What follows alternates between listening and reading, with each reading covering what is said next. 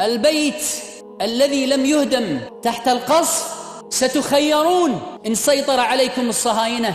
أن تهدموه بأنفسكم أو تهدمه لكم بلدية الصهاينة ثم يعطونكم فاتورة لتدفعوا ثمن الهدم. هل يعرف ذلك أهل الذل والهوان؟ ممن ينكر عليكم؟ لا.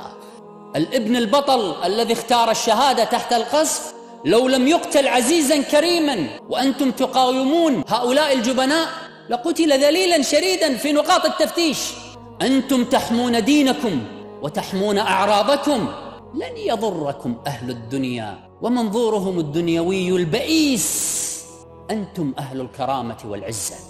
الإسلام كسر جدار الرعب بين الحياة والموت.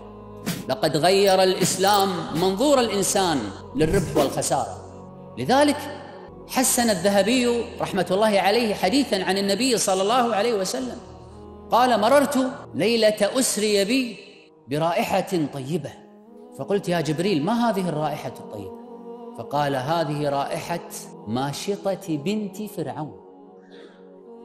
كانت تمشط ابنة فرعون فوقع المشط من يدها يوما فذهبت لتأخذه فقالت بسم الله. فقالت ابنة فرعون أبي يعني تقصدين أبي. قال ربي ورب أبيك. قالت إذا أقول له؟ قالت قولي له. فجاء بها فرعون. فقال أولك رب غيري؟ قالت ربي وربك الله الذي في السماء. فأمر بالحميم في نقرة من نحاس. نحاس مقعر وضع فيه النار المغلي في رواية الزيت المغلي.